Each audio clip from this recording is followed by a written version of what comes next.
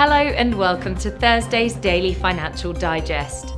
And here's what's making the headlines in the markets today. The dollar yen pair has fallen 0.3% in the last session. The MACD has plunged into negative territory. The price of gold has gained 2% in the last three sessions. The RSI has bounced upwards into the positive area. Bitcoin has lost 5.2% in the last session. The stochastic RSI transitioned sharply into overbought territory.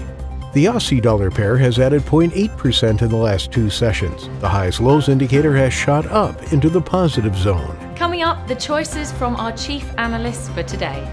A European Commission document shows EU antitrust regulators have sought information from advertisers regarding Google's advertising technology practices.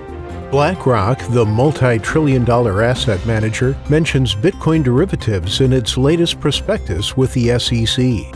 U.S. stocks rallied to records on encouraging earnings reports and continued optimism that new leadership in Washington will mean more support for the struggling economy. Those were today's major economic events. And now, moving on to world financial headlines.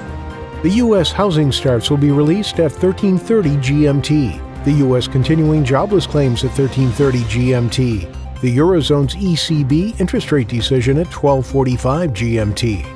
The Eurozone's ECB deposit rate decision will be released at 1245 GMT. Japan's BOJ monetary policy statement at 300 GMT. Japan's BOJ interest rate decision at 300 GMT. We hope that you've enjoyed Thursday's market outlook.